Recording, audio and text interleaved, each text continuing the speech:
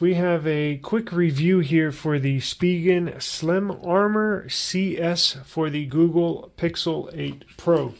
It is a thin wallet case. Yes, this opens up to hold up to three cards, but look at this. It gives you the nice Spigen design.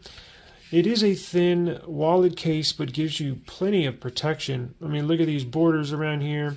Nice, soft drop protection, and then the nice hard back. So let's go ahead and slap it on here. I have a full review of this on our channel that you can check out, but my goodness, it looks awesome. Just a really nice case. It does work with wireless charging. I just checked, and check this out. Holds up to three cards. It says two, but I we got it. We tested it, and it does hold three. So, eSIM Studios Spigen Slim Armor CS for the Pixel 8 Pro.